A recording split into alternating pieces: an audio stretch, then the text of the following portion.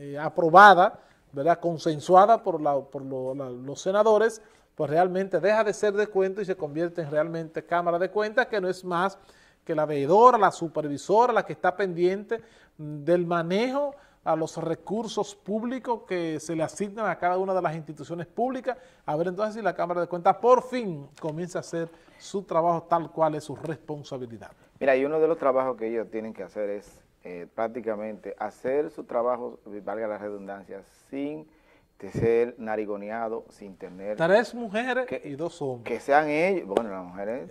Tres mujeres, y dejaron... Eso lo dicen las... Es que las aulas hace más de 10 años que lo están diciendo, las aulas universitarias lo están diciendo hace muchos años, Se quedó fuera tu amiga, ¿Eh? se quedó fuera ahorita. No, pero señores, que...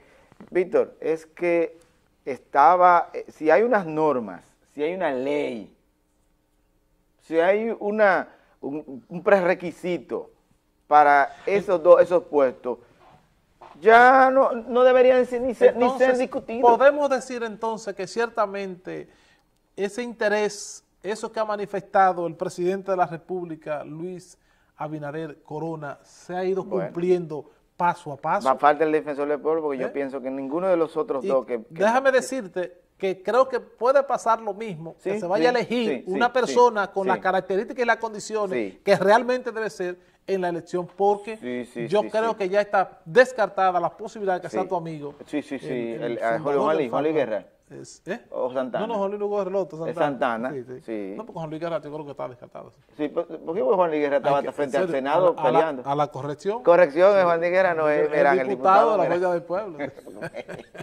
es igualito.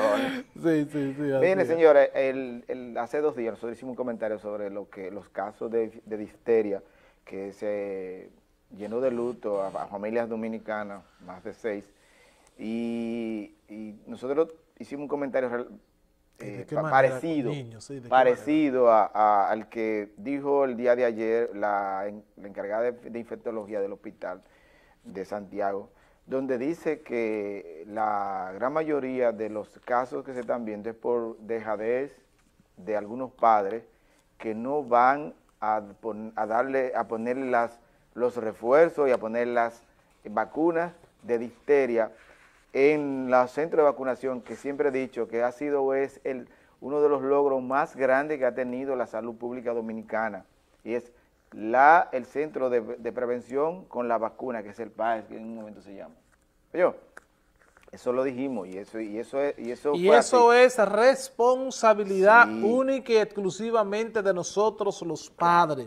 Eso no es cuestión de las autoridades. Deben de tener sus dosis antes de los seis años, con su refuerzo a los 10, para que no haya problema, porque el Corinebacterium difteriae, que es el, la, Corinebacterium difteriae, es eh, la bacteria que produce eh, esa enfermedad y está alojada en la garganta de cada uno de nosotros, de todito lo que estamos aquí.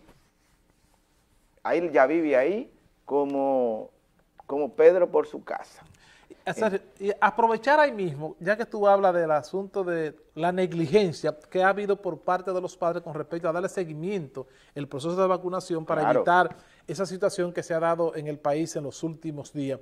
También, y mezclando un poquito, también la situación del COVID-19. Estamos en la antesala de lo que podríamos tener nosotros un rebrote. De manera ligeramente han ido aumentando los contagios. Ese producto, producto de este asueto de Semana Santa que una vez más mostramos nosotros la irresponsabilidad que dicho sea de paso, hemos estado mostrando durante artista, toda de esta situación. Común y corriente, digo de nosotros, claro, toda esta situación de violación a lo que es el toque de queda, al distanciamiento, físico, al uso de las mascarillas, ya aquí no hay toque de queda porque la gente se está agrupando haciendo fiestas y ayer decíamos, no pueden las autoridades permitir que la irresponsabilidad pueda ganar la batalla, ya que hemos estado mejorando ligeramente, no podemos volver para atrás. Algunos países del área que están cerrando y están siendo más estrictos en lo que es, en lo que es el cumplimiento de las medidas, nosotros estamos aperturando. Para que sepan que esto no se ha ido, mira, Perú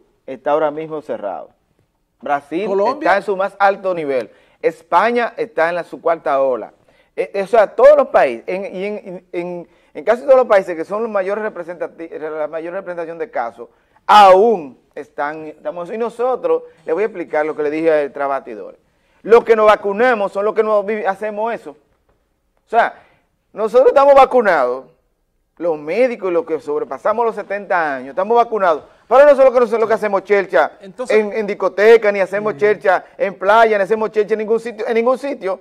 Pero hay, serio, una responsabilidad. Esa misma gente está en la calle. Hay una responsabilidad individual.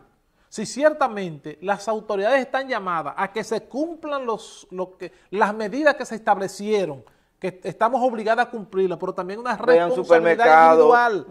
Hay una responsabilidad individual que usted también tiene que velar por usted no contagiarse y que esto pueda complicarse. Ya la manito limpia, ya, la manito, la manito ya tú no ves eso. tú no ves nadie pidiendo la, aglomeración en los centros de, de, comida y bebida. Lo del toque tú no ves nada de eso. Ya aquí no hay toque de queda prácticamente no hay toque de queda, solamente en la, en la, en la, en, ¿cómo se llama? En la publicación que se hizo solamente. Eso es, eso es para que el para que el Estado, para que el gobierno tenga manos abiertas en el presupuesto eso que sale hoy, Eso que sale hoy, que dice el Banco Mundial recomienda ah, el regreso a clase lo más pronto posible. es posible que podamos estar de acuerdo, pero, iba a decir una mala palabra, pero si nosotros hemos estado al despacio, saliendo y mejorando en esta situación, ¿por qué hay que desesperarse? ¿Por qué hay que desesperarse que hay que volver a clase cuando ya este año escolar está terminando? Sí, yo, Entonces, yo quiero que me digan por qué. ¿Cuáles son los, aspectos económicos que eso afecta? si bien es cierto que puede haber un breve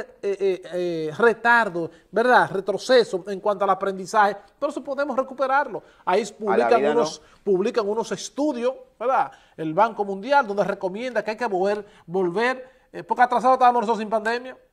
En términos de educación, atrasados estábamos nosotros. Yo creo, yo creo, yo creo que ahora avanzamos entonces, más.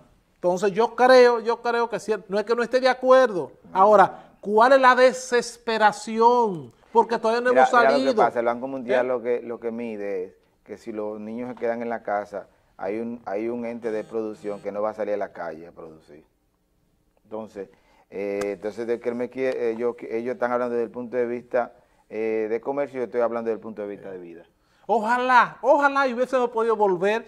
Ojalá es que las condiciones ya estén dadas para regresar todo el mundo. Si rompemos la proyección, si hay una proyección que para junio, julio quizás se quite la alarma de, pandemia. Entonces, ¿cuál es la necesidad Vamos a esperar que llegue ese momento, porque si ah, nos desesperamos, entonces ese momento se, va, a elongar. Pero así mismo, como estamos diciendo, ¿cuál es la necesidad de desesperarnos en apertura? ¿Cuál es la necesidad de que nosotros hemos sido lo suficientemente irresponsables para incumplir las normas que ya están establecidas y que estemos a la, a la expectativa en la antesala de lo que puede ser un rebrote por asunto de la irresponsabilidad eh, eh, eh ciudadana eh, que hemos tenido en asuntos del asueto de Semana Santa, asuntos de diciembre, en la época de la Navidad. Eso es por responsabilidad nuestra. Se desplazó más gente en la pandemia que, muchas veces queremos, otros años. Muchas veces queremos echar la responsabilidad a las autoridades.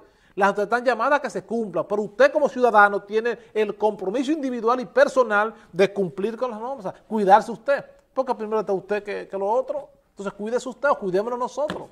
Esa es la única forma de que nosotros podamos volver en el menor tiempo posible a que todo esto se normalice. Así que eso de, que vamos a clase lo más rápido posible, eso es lo que queremos todos, pero si no hay condiciones. Entonces, ¿cuál es, cuál es el aceleramiento? hay mucha gente que dice que no, pero que en Estados Unidos nadie se trancó, pero por eso todo el mundo se murió.